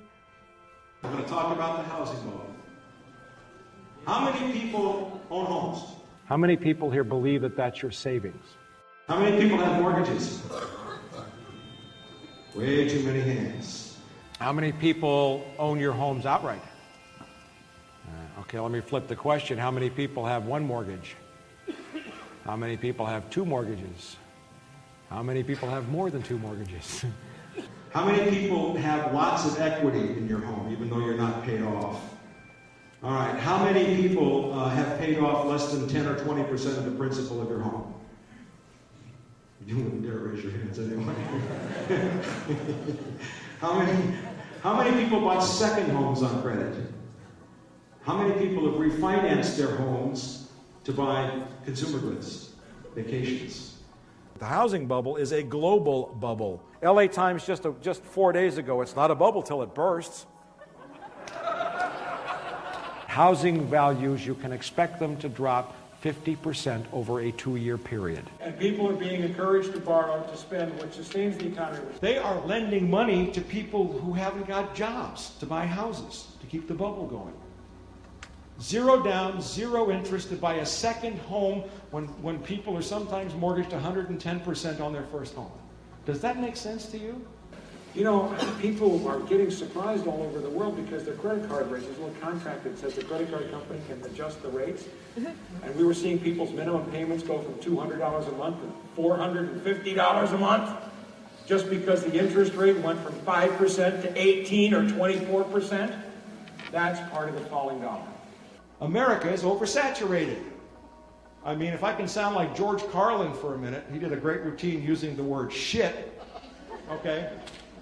You people can't buy any more shit because you got so much shit, you got no place to put your shit and shit. You, you're so mortgaged up with, with your credit cards that you can't, you know, you, are you getting the picture? This country is totally in debt. U.S. current account deficit may hit 900 billion next year. That's the trade deficit. We are buying everything overseas and we're not making anything here and we're getting all of our stuff made there and it's all money flowing out and we borrow the money and we ship it back out and you guys are in the middle as literally the conduit for this cycle because you're encouraged to borrow and to spend beyond your means and not save so that you can keep this bubble afloat. And there, the United States government is literally about to tank and destroy the dollar. So they stockpile and they run up their dollars, they run their economy, burn more oil, they get more dollars to buy more oil. To simplify this, I would say that a snake eating its own tail is not nutritious. Right now, if I were to tell you the one thing that I thought you needed to do is get out of debt immediately. Get out of debt because when the economy crashes, you don't know how hard you're going to be hit, and you could wind up being indentured servants under the, the new bankruptcy law, which just passed last month. When these chickens come home to roost, the people who are in debt, and you know, there's stuff coming with civil liberties. We may have a debtor's prison here soon. Uh, the bankruptcy laws have changed. You want my advice on how to survive the first parts of peak oil? Get out of debt because they're going to make you a slave and you will have no options to move anywhere, do anything, go any place, change any part of your lifestyle except for become indentured wage peon servants for the corporations for pennies of slave wage money to pay off debts because you can no longer get out from under, underneath them due to the new bankruptcy law, which just passed two months ago. Are you aware about that? And the corporations will determine how much you can write off, how much money you're entitled to live on, where you can move, and where you can work. Your creditors will determine what's discharged, where you work, and how much money you get to live on if you go bankrupt. Indentured servitude. And yet, what do they put out to you every day? Buy, consume, breed, buy, consume, breed, more, buy, buy, credit, easy, buy, get, go, taste, spend more. Get out of debt. I'm telling you, get out of debt. I have seen a completely new term creep into the lexicon uh, around peak oil, and it just came out of the blue. It's called demand destruction. How do you destroy demand for oil? No. You collapse the economy. People who are out of work, unemployed, and starving don't drive cars, they don't take vacations, they don't borrow money, they don't buy second cars, they don't fly on airplanes demand destruction.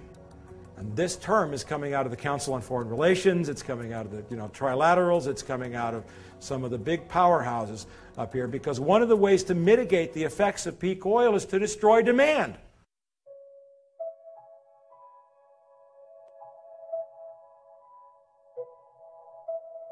There are 10 calories of hydrocarbon energy in every calorie of food consumed on the planet, on average. Why? You got to plow the field. How do you plow the field? Drive an oil-powered machine to plow the field, don't you? Then you got to plant the seed. You got to drive an oil-powered machine to come back along and plant the seed. Then you got to irrigate the crops. How do you irrigate, the fields? You pump the water. How do you pump the water? Electricity. How is the electricity made? Oil, natural gas, coal. Then you got to spray it with pesticides. What are the pesticides made of? Oil. Then you got to fertilize it with nitrogen-based fertilizers. Where does that come from? Natural gas. Then you got to harvest it. How do you harvest it? Oil powered machine. Then you got to drive it to a food processing plant, oil powered machine. Then they run on electricity and more chemicals at the food processing plant, and then they wrap it in plastic, which is oil again, and drive it by an oil powered machine to your supermarket where you drive an oil powered machine. You pull a piece of plastic out of your wallet, which is also oil, and you take it home and throw it in a microwave oven and burn electricity generated by oil, and then you put it on a plate and eat it. And the 10 calories doesn't count the cooking energy involved. That is why permaculture, that is why organic farming, not using any kind of petroleum based or, or uh, uh, hydrocarbon based energy or chemicals, is the only solution for mankind. I live in Los Angeles. Southern California has the best strawberry fields in the world, yet I can go to a supermarket and the strawberries come from Chile. 10,000 mile Caesar salads. Uh, they mine tin and aluminum in Australia and send it to uh, Norway to make uh, to uh, uh, Holland to make tin cans, send it to Norway to fill it with sardines, and send it back to Britain where it gets wrapped so they can come back and sell the same sardines back in American supermarkets. Globalization is dead with peak oil. D E D dead. I'm convinced Richard Duncan, Richard Heinberg, all the great thinkers on peak oil have looked at it. A population of six and a half billion, let alone nine billion, where we're going to be by the middle of the century, is not sustainable in a post-petroleum environment or an environment of declining oil, unless, unless or until there is a massive shift, shift to permaculture and organic farming, and the corporations ain't going to allow that. With peak oil, you're going to see the U.S. going to nuclear and coal. What choice do we have? Wind, geothermal, hydrogen is an absolute joke. Don't even look. You know, it takes 1,113 gallons of gaseous hydrogen to equal the energy in one gallon of gasoline. These hydrogen companies threatened to sue us. And they said, well, we've proven that you can get a, a range of 300 miles on a tank of compressed hydrogen. I said, great, who's going to do the crash tests? Now, hydrogen is an absolute chimera. It's a joke. There will be no solution from hydrogen anywhere, under any circumstances. Uh, EV Magazine just uh, about six months ago published a story saying fuel cell engines, hydrogen fuel cell engines, have a life expectancy of 200 hours. Now, would you buy a hydrogen fuel cell car if you knew that every 200 hours of use you had to buy a new engine for it? Right now on this planet, there are between 750 and 800 million internal combustion powered vehicles. Each one of those vehicles, according to a couple studies we found, takes on the average between 12 and 15 percent of all the oil it will ever use in its lifetime just to make.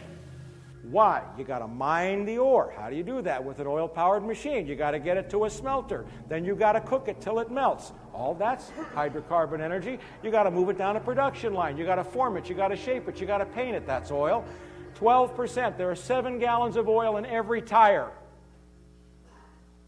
So let's assume tomorrow that we had a whole new source of energy, cold fusion which would solve all the world's problems. It wouldn't solve the fertilizer problem, it wouldn't solve the pesticide problem or the plastic problem. Climate, more good news. It's my job.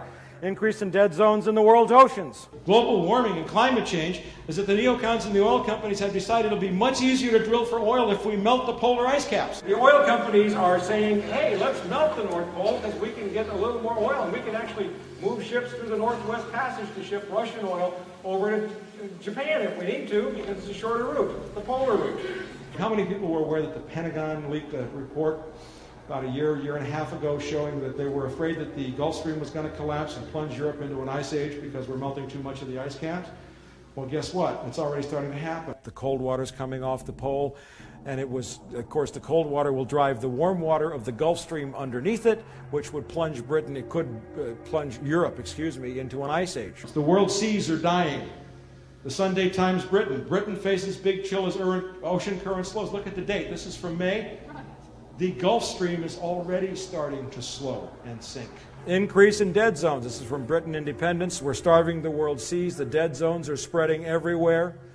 Uh, Britain faces big chill as ocean current slow. No, I'm serious. Okay, so we may have a climate collapse behind this panic. Well, the Gulf Stream is now already slowing. Talking about the climate for a moment. I'm from Los Angeles, where we had more rain this year than you did. Is there anything wrong with this picture? We had 35 inches of rain in Los Angeles. What? Yeah. I mean, holy gamoly, what's going on here?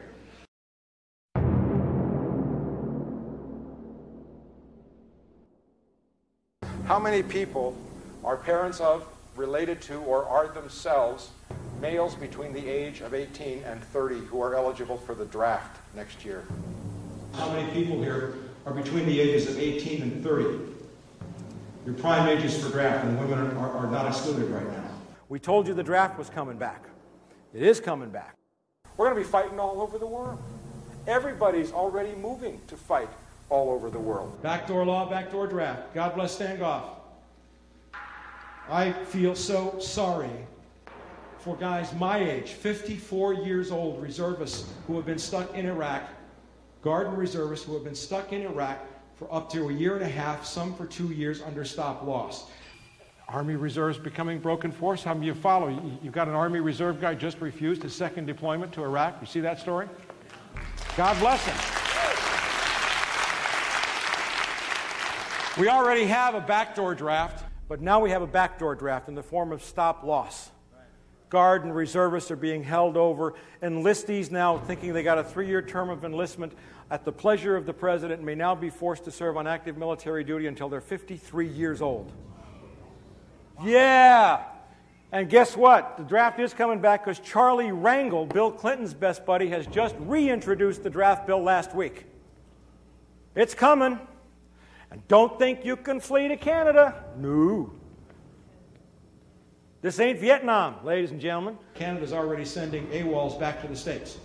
There's like, there's like 40 FBI offices scattered throughout Canada, and under the legislation after 9 11, there is no, Canada will ship them right back because we will kick Canada's ass if they hide American draft dodgers again.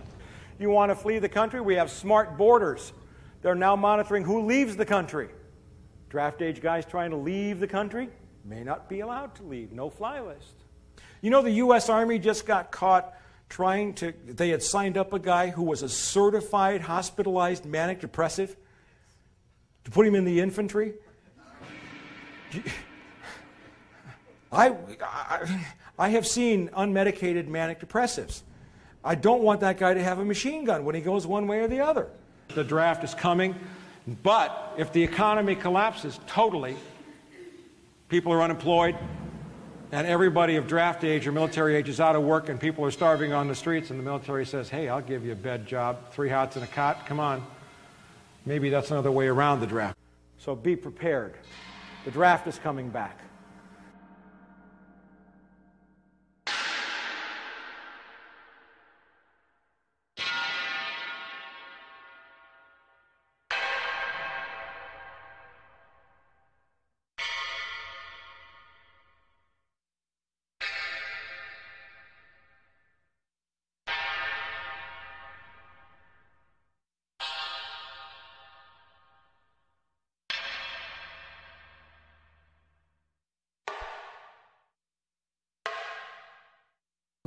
Move on to Mike Ruppert.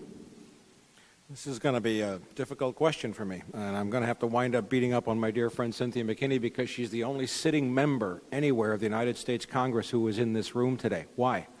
Um, we've heard some really, really uh, disturbing things here today. Some things weren't even mentioned. I want to thank Mr. Uh, Michaels for referring to the fact that was it how many four or five states and uh, God knows how many cities now have passed resolutions opposing the Patriot Act. Uh, the United States has thumbed its nose at the uh, International Criminal Court at The Hague. We've basically told them we don't care who you indict here. We're not going to let you talk to any of our people. And how do we expect the world to behave like that? Uh, that it, it, it's very interesting that the Patriot Act was already drafted before the 9/11 attacks occurred. That's a you know 9/11 is the watershed moment that has opened the door to everything else that has followed, and that's why it's so important to understand the significance of 9/11 above and beyond. Nobody mentioned total information awareness. Uh, and, and the absolute violation of any privacy we have with respect to all of our personal records and its attachment to PROMIS software, which is out, it's a matter of record that the software exists that can data mine every aspect of our lives on almost real time basis. We've seen uh, portions of the First, Fourth, Fifth, Sixth, and Eighth Amendments to the Bill of, to, to the Constitution, uh, either abrogated totally or partially. uh, since 9 11. And where I have to hold Congress to blame is, is that there was a state of emergency declared on 9 11, and it is a statutory obligation of the Congress of the United States to meet after 60 days to review that state of emergency and grant the statutory authority for so many of the violations, especially with respect to the military tribunals. Uh, which have taken place overseas. And to my knowledge, Congress has not once met to even discuss that state of emergency. And this is why I am at a point. I mean, I've been walking these halls, and this is going to be a jump ball question. Like, I'm going to throw the basketball in the air, and I'll bet you it hits the ground because nobody wants to touch it. Okay?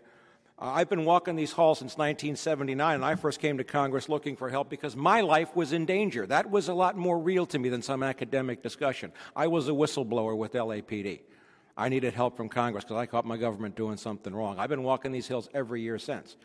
And I'm sorry, but I see a descent, and you have described, if you will, a disease state of a republic, whatever you want to call it, descending. And this is a historical question for anybody who wants to take it. Any of you historians out there, have any of you ever seen a nation or an empire at the pinnacle of power, whether it be Rome, France, Spain, Britain, anywhere else? Descend down a road to totalitarianism and on its own voluntarily decide to turn around? I, for one, am extremely skeptical. And, you know, I, this is the bravest woman on Capitol Hill of all the members I've ever met sitting right up there. But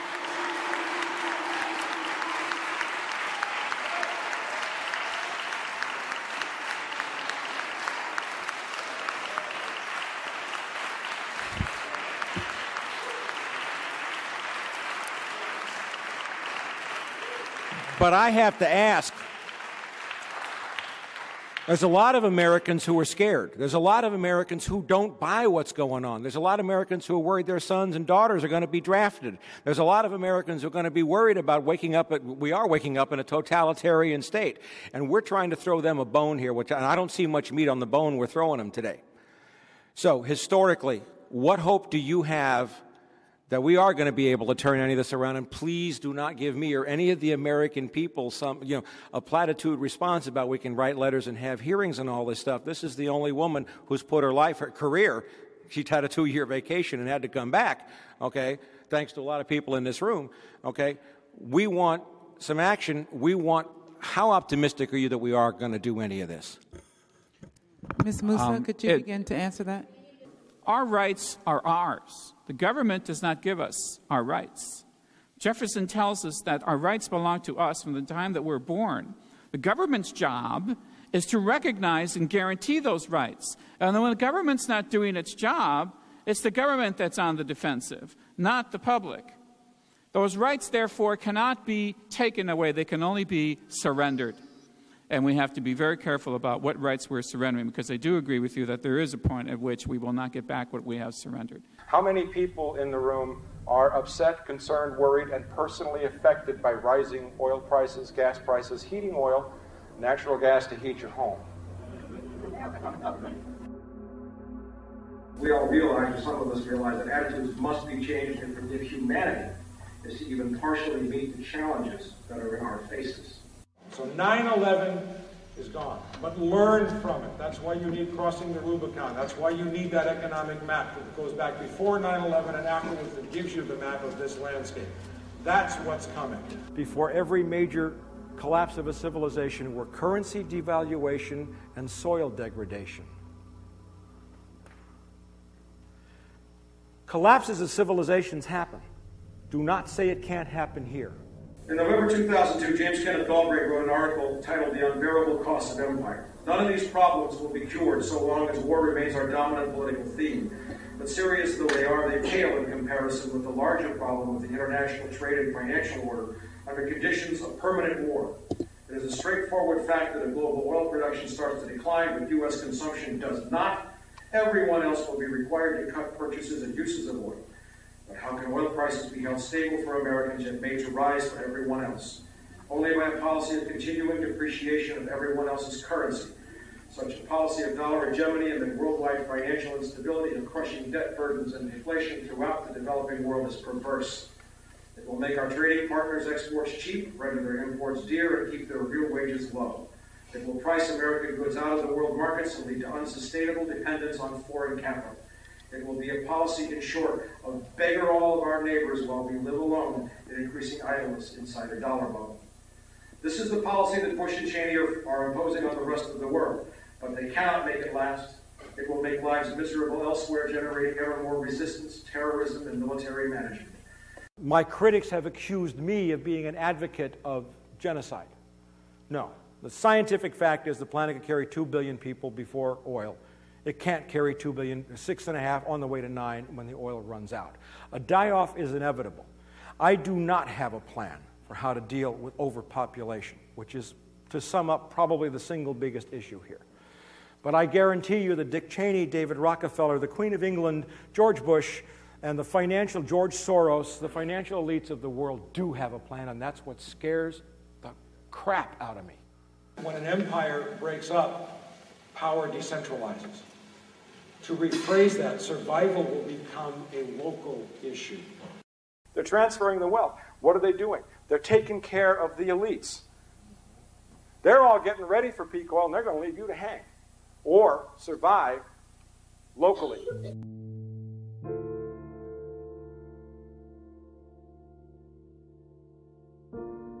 This is now a matter of survival, and not everybody's going to make it. And I have made the decision with these five rules that I'm going to put back up here as, as, as I shut up and conclude here.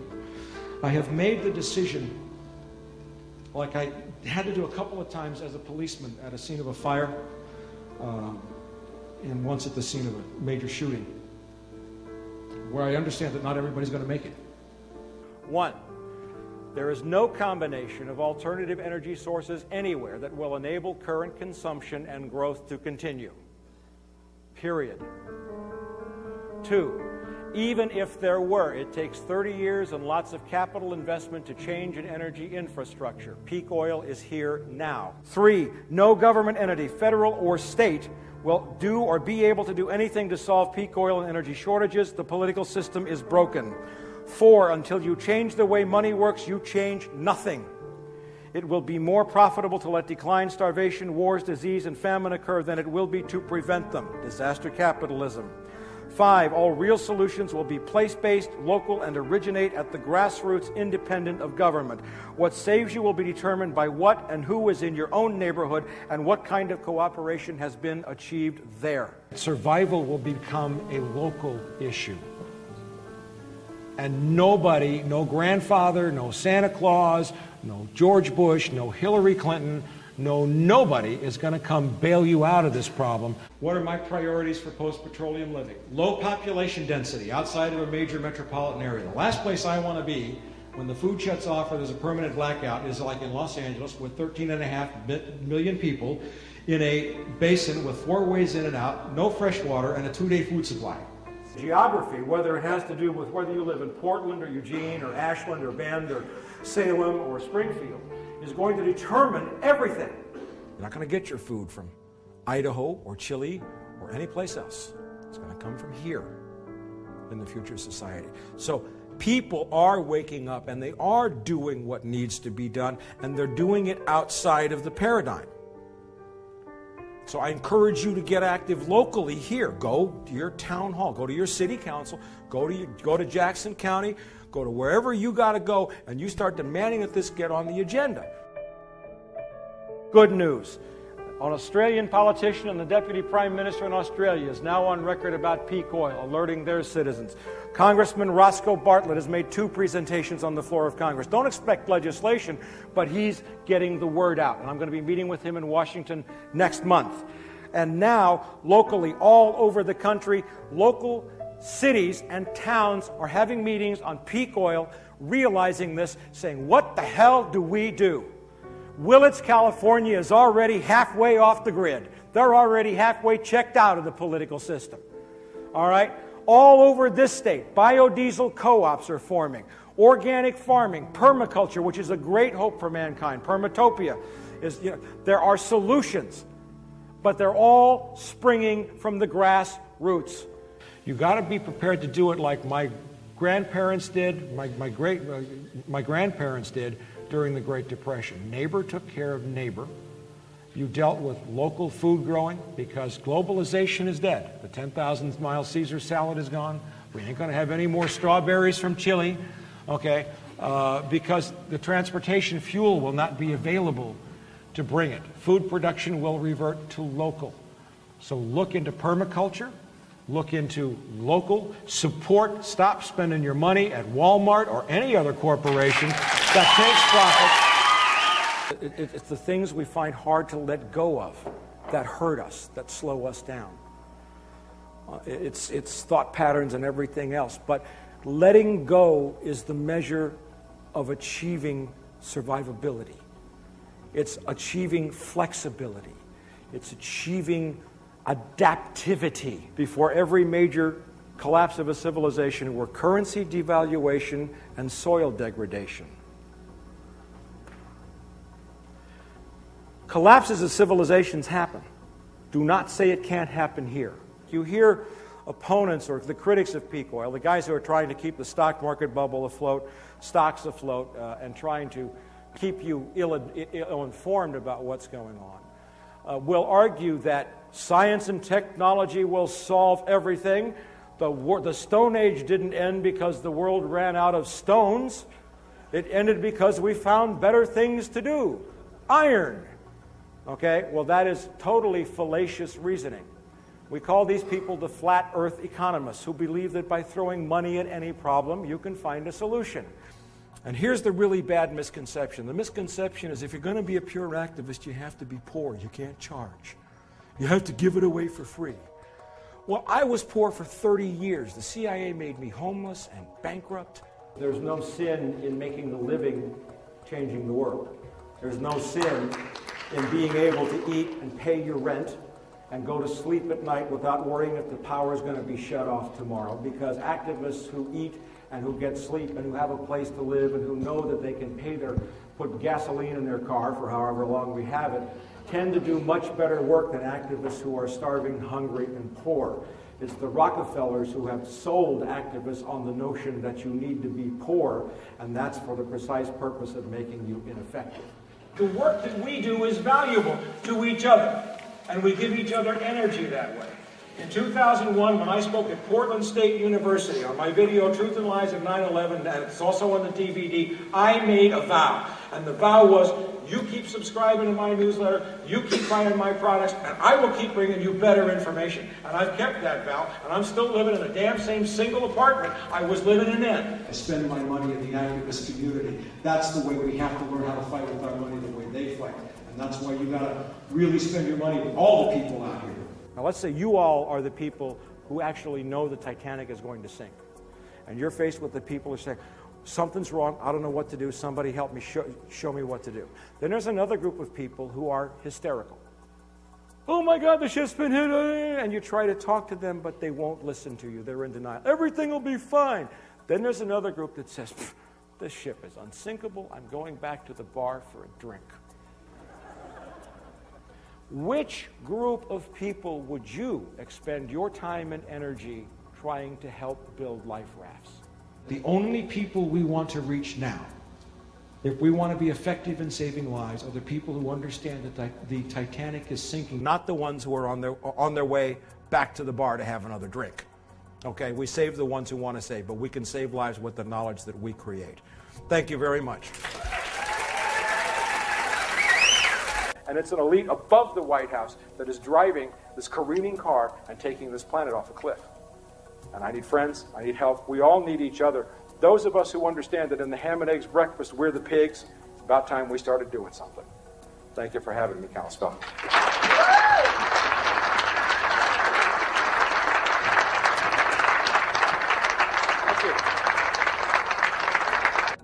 In 49 BC, Julius Caesar crossed the Rubicon, the Roman Empire died. Our task is not to keep our republic, but to take it back. I just want you to know that um, uh, I'm scared. Uh, I'm scared because I don't have a clear picture of what's going on. All I know is that the maniacs, the, the, the lunatics, are not only running the asylum, I'm convinced they want to kill billions of people, but I'm also convinced, kind of like Jeff Goldblum in uh, Jurassic Park, where he talks about the law of unintended consequences. You know, uh, that these guys, uh, Catherine Austin Fitts's line is great. Those who win in a rigged game get stupid. These guys are really stupid. Uh, and we are in a lot of danger. And I cannot leave you with any other words that are more, most important for me to communicate to you except for prepare, prepare, prepare. But From the Wilderness now has a new motto. Denial stops here. Because only when you're out of the denial can you do anything to save your friend, anybody else on this planet. I want all of you to see what so many people are seeing, and I want all of you to begin to let go of the things you need to let go of so that you can find the things. You can't put something new in a hand that's holding on to something. You've got to open the hand before you can get a solution in there.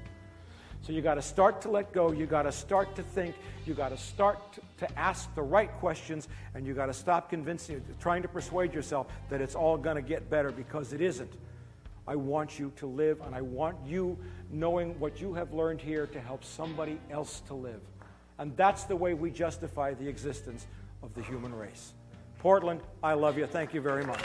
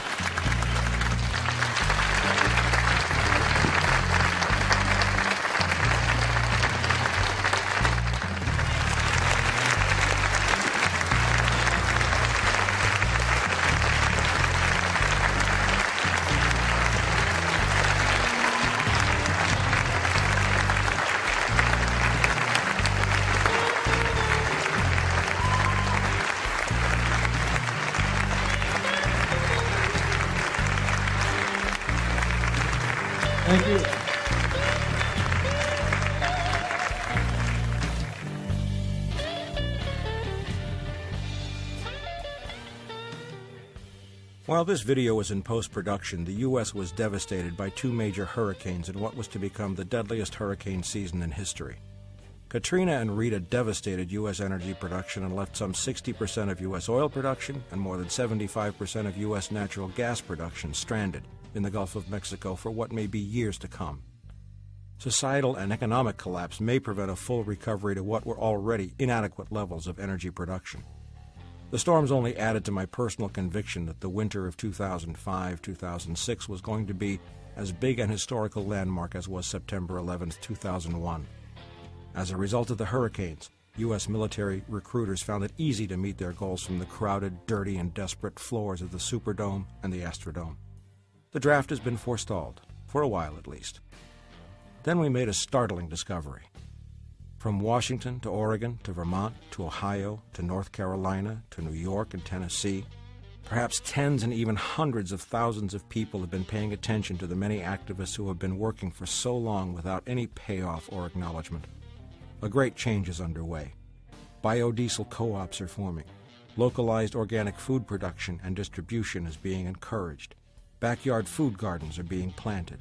Even place based stock co ops are being formed at the county level to finance changes that will mean survival for hundreds of thousands, if not millions. Food resources are being mapped locally. The town of Willits, California is actively preparing for peak oil and local sustainability, as are many other small towns in the Pacific Northwest. People are taking the knowledge being put out by guerrilla news reporting and they are experimenting, improving, refining, and choosing options to enhance the survivability and quality of life in harmony with the specific requirements of the places where they live. How widespread is this awakening? We don't know yet. These changes are not being reported by large news organizations or in government reports. They're happening because a change in consciousness is taking place. New ways to find and report on these trends must be developed to increase our collective learning speed. From the Wilderness will have to change its research style to identify and report on these developments. It will require travel and networking at a whole new level. A whole new culture is being born. The gloom I felt as the winter approached has been replaced by a new optimism and energy.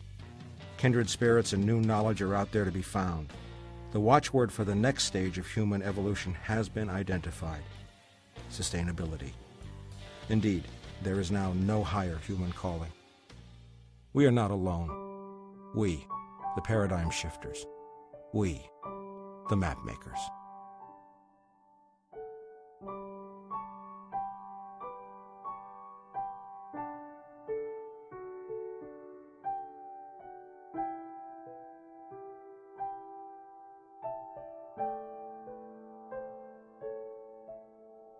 Soon you'll forget me, I'll fade from your memory, and that's how it should be. You won't need me now. The world will embrace you, and lovers will chase you. Their kisses will take you where I could never go. Well, I never change, I'm forever the same. Hope you call out my name when you need me. And someday you'll be young again, and we'll play like we did back then, and fly far away, you and I, my friend. Someday when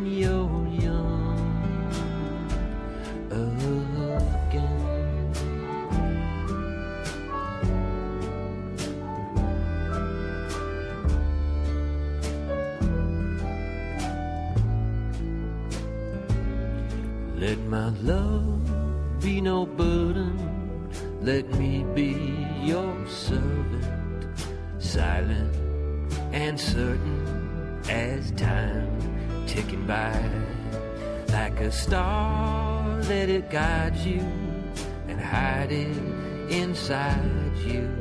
And know I'll be by to protect you from harm. Be never afraid of dark shadows or shade. Let sad memories fade till you need them. And someday we'll play like we did back then and fly far away. You and I,